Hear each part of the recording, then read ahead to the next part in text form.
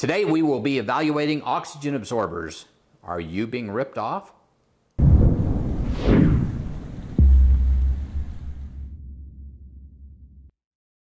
Hey, Provident Preppers, I'm Jonathan. And I'm Kylene. And today we are going to talk about oxygen absorbers. And they are actually a fantastic tool because their main purpose is to remove the oxygen from a sealed container, which prevents oxidation and it also prevents any insects from infesting and ruining your stored foods. So we're going to talk about what they are, how they work, and most importantly, how you know if they're doing the job or if you're being ripped off. John, talk to us about what are oxygen absorbers? Okay, oxygen absorbers are little packets of iron powder. And sometimes there will be some other additives, either some salts. Sometimes they'll put uh, activated carbon in, depending on the purpose. But our purpose is just to get the oxygen out. So we don't really care about that other stuff. The iron powder is what we're after here. And that iron powder will interact in the, in the package to rust, basically, and that will pull all the oxygen down to 0.01%. So essentially, no, nothing left. It's all the oxygen is absorbed. Even if there is a tiny, tiny bit, it's not enough for anything to grow or the oxidation to occur. This is ideal for things like grain and beans, um, powdered milk, dehydrated foods, and freeze-dried foods. Anything that has a moisture content of 10% or less, and ideally is low in fat. All this little packet does is it removes the oxygen. So in that container, you are still going to have nitrogen and other a few other gases in there. The nitrogen isn't going to hurt your food at all. So that can be a little bit tricky when it comes to knowing whether or not it's doing its job. And I think it's useful to point out that our air that we breathe is basically 79% nitrogen. So the oxygen is a smaller piece Sometimes people get confused as to thinking it doesn't work, but probably it's is working really well, right? Yeah. And, and, and are there things that shouldn't be you shouldn't put an oxygen absorber in. Anything that's moist. You never want to put an oxygen absorber in moist foods because you, there is the risk of botulism. We're only using it in dried goods. Okay. Mm-hmm. And, and sugar and salt we wouldn't put it oh, in, right? Yeah, because if you put an oxygen absorber in either sugar or salt, it will turn it rock hard and you don't need it we don't because want that. both neither sugar nor salt are susceptible to oxidation and bugs don't tend to like to hang out in them. I ordered 500 cc oxygen absorbers, but look at the difference in size. That's what struck me when I first looked at them. It's like, These are whoa, there are some that are really small. And we're going to do some measurements, both weight you know, because I of love to course, measure stuff. She, of course. That gets her all excited. No, it doesn't get her excited too, but it gets me excited to measure things. So I want to know which ones really work well. And so we're going to do yeah. some pretty good experimenting. We are not being paid to do this by anybody. We're not promoting yeah. them. I will leave a link to our favorites, but this, we paid for all these oxygen absorbers, including some that I'm pretty sure aren't going to work very well because of the size. So the first thing you want to do when you look at an oxygen absorber, let's talk about how we figure out the quality of the packaging. We can get oxygen absorbers, a hundred of them in one package. But for us, we're, we're not commercial food storage people, right? We're only going to use a few at a time. I do use a lot of oxygen absorbers because when I freeze dry food, I like to always make sure that I put it in the jar and as well as vacuum sealing it but I only use a little bit at a time. So I don't want a package of 100. In here, we've got some like this one that's packaged in tens, which is yeah, great. And this reasonable. one is five. Yeah. And a lot of times when you're going online, you can decide how many you want in each individual pack. One of the things about these is that there should be an oxygen indicator on this to show you that there's not oxygen in here, right? That these have not been exposed to oxygen. And so I would look for that. Some of these packages have them, and some and don't. Some don't. Yeah. Which I thought was very interesting. I thought they all would have that in because that gives us a comfort that we know okay, this is good. You can kind of tell by how flexible the package is. If they've done their job, then they're going to be kind of crusty and, and hard to bend. In their new condition, they're very flexible because it's just that powder in there that's not bound to each other and isn't uh, hasn't hardened up. So yeah, and actually we have a video from quite a while ago where we did where we had one of those big packages with a lot, and it got exposed and you, you can totally tell that they are not going to work. And so I'll leave a link to that just so you can see. But that is one of the things that we look for. As we were comparing these, there's a there's a huge difference in the quality, like the thickness of the plastic that this one is in versus this one's pretty this thin. one. And this gives me a lot of comfort too, having these heavier packages. Yeah. It just feels better. Now, whether it makes the difference, I don't I don't know. But I, I like the fact that it's a heavier package, which means it's not going to puncture as easily or get torn as easily. And plastic will always have a slow transmission of oxygen over time, right? That the is true. thicker the plastic, the slower that transmission. So this thin one isn't going to last as long in your storage or in your cupboard as this. And uh, actually, according to the manufacturer, they usually say that you should use these within a couple years.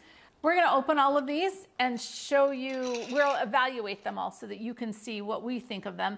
But this is how I do my oxygen absorbers. Always, as soon as this bag is opened, I'm going to remove them and I'll stick the little, okay, I don't know if you can see this. See how this was exposed to oxygen? It was like a pinkish color and now it's turning dark already real fast. So I'm gonna stick this in here and immediately, if we weren't doing the experiment, I would vacuum seal this, but this is gonna be fine for just now. As small a container as I can, and then we'll seal this up. And the oxygen absorbers, when they start to work, they will actually warm up a little bit. That's one of the things that tells you that the oxygen absorber is working.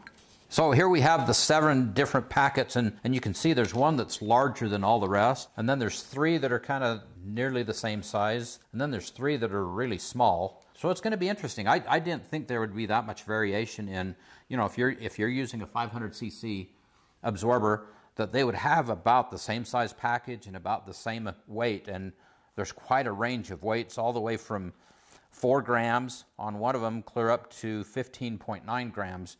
So I can't believe that they're they're all equivalent. That these are all 500s. Something's off there. Now it's interesting because I had talked to Pack Fresh USA once and, and just asked them, why is yours so much bigger than this other brand? And they said that they intentionally three times the size of the oxygen absorber to allow for any kind of error and make sure that their customer is taken care of. And so I, I wonder if that says something about you know the company and what they're trying to do, or you know if the small one is just they are rated for 500 cc, that is what they absorb, and if you leave it out for any period of time, it's already going to have absorbed some of that. I don't know, but we don't have any fancy equipment to be able to tell you for sure if the oxygen has been absorbed. But what we are going to do is we're going to put one in each one of these quart jars.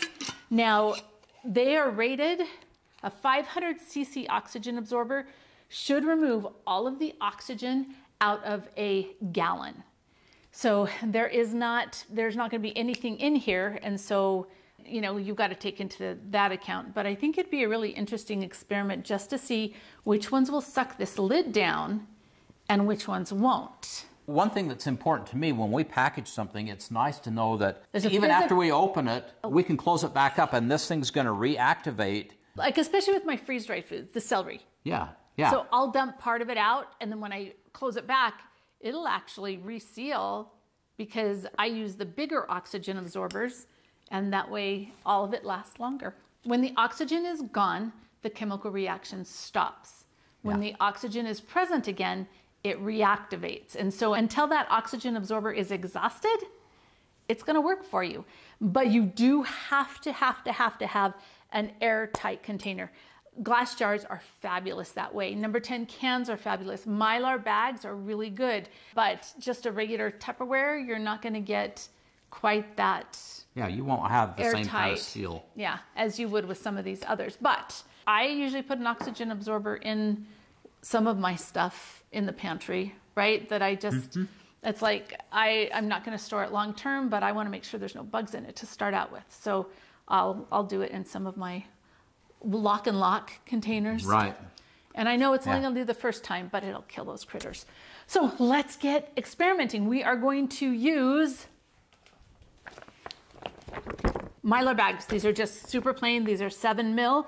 We are going to put the exact same amount of oats in each one of these bags. And then we're gonna watch them and see how much they shrink up. Now, again, oxygen is only 21% of your air, right? So you might not always get that vacuum look.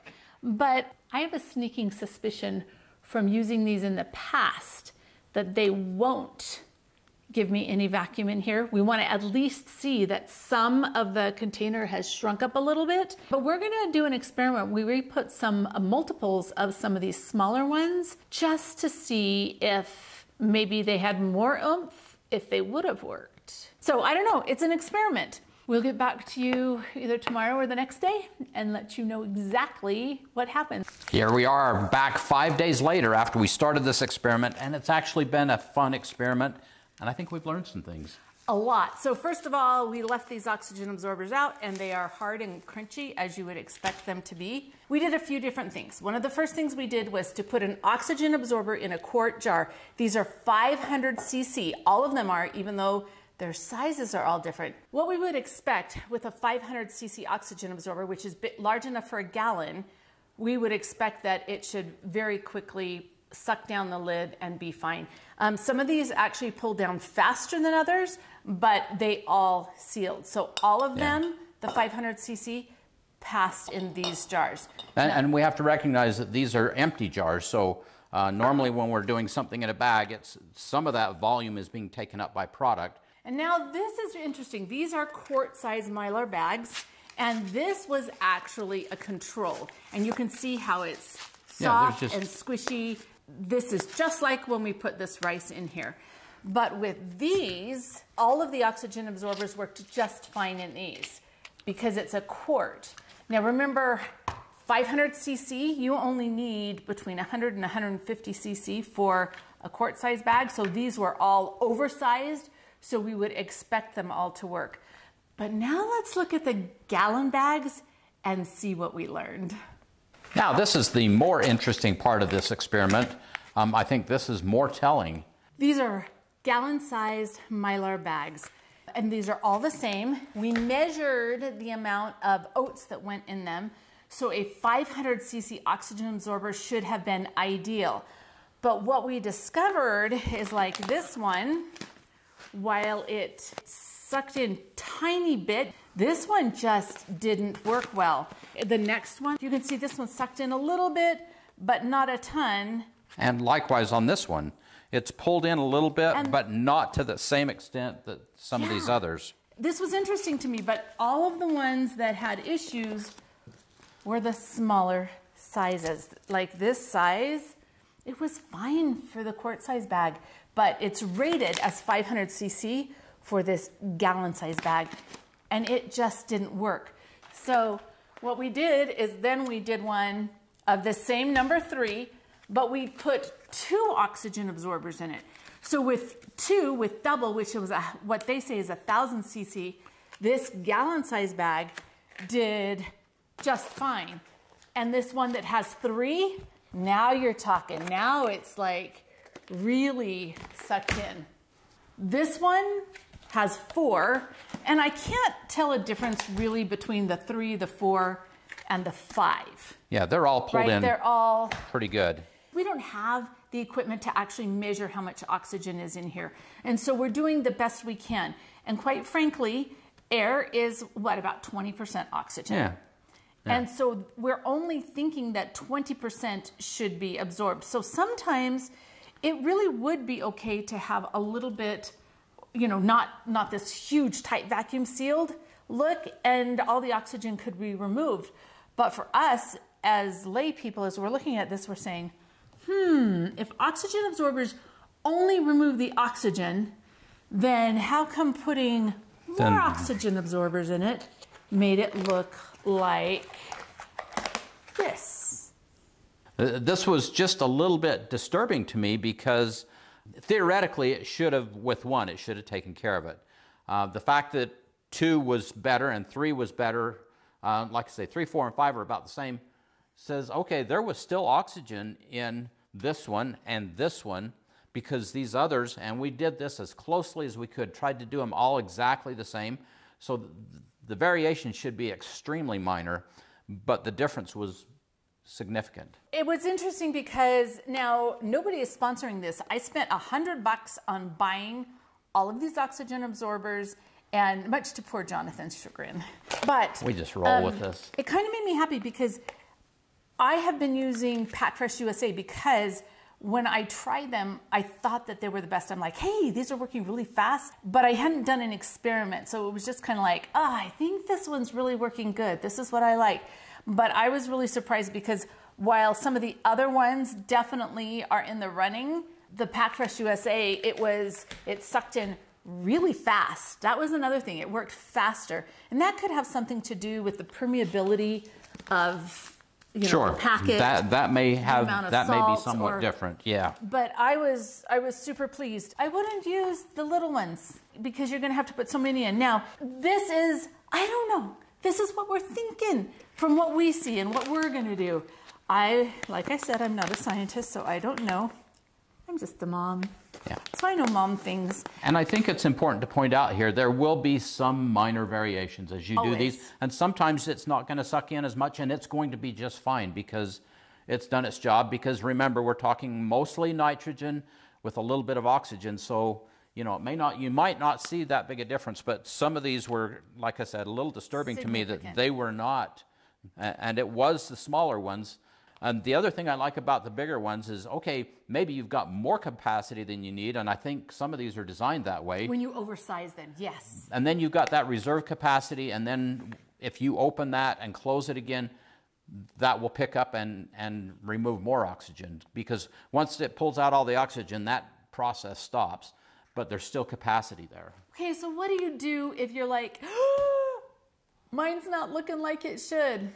I would just snip off the corner, stick another oxygen absorber in there, a fresh one. We always want to make sure that they're they're good. If if they've been sitting out, these have been sitting out for five days, these aren't going to do anything for you now. So you've got to have good fresh ones. So snip off the corner, put another one in there, and then just heat seal it. If you are just doing the zip on the mylar bags, remember that is not airtight. You have to heat seal it in order to maintain an oxygen free environment. And that's, you know, Mylar bags are great. I personally truly love my bottles. Um, we do a lot in our bottles, but this was a really good experiment for yeah. us. In order for the oxygen absorbers to work, you have to maintain an airtight container. Mylar is great at that, but some of them have a zip seal. If you've only zipped it and you haven't heat sealed it, that is not airtight and you are going to lose air over time. Um, so make sure that you are always heat sealing the mylar. Now I'm going to show you really quick what happens if you've lost the seal. So some people are concerned that there might be holes in their mylar and then they're not going to do a good job. Well, it's really easy to tell if you have a hole in your mylar because all it takes is one little, and you hear that and immediately, do you see how the bag is softening up? It was hard. You hear that little seal and then in just a couple seconds, it's all soft again. And I think it's important to point out that most mylar, sometimes there will be little, what looks like holes, little light, you can put it to the light and you can see it, but most of the time, that mylar is still intact. It's just a little uh, imperfection in the foil that's inside the layers of mylar. So the best option that you have is just to get it from a reputable company. Make sure that you're buying quality and then you don't have to worry about it because there have been horror stories. And seeing these oxygen absorbers at work, I'm like, oh, I understand those horror stories. So yeah. we're going to be doing a little bit of repair to some of these. Right. But I hope that was enlightening for you. Don't get ripped off. Make sure you know what you're buying. We will leave a link to the one that we really like that we've we totally trust this company, but we've been on a journey of some that just didn't work as well. And that's one of the things that has, has taught us if you've got lousy oxygen absorbers, double up on them. And please store food. I, however you choose to do it, I think now is a really good time to make sure that you've got a backup food supply. Absolutely. Now for the question of the day. What questions do you still have about oxygen absorbers? And what success or failure stories can you share? Comment below. And thanks for being part of the solution.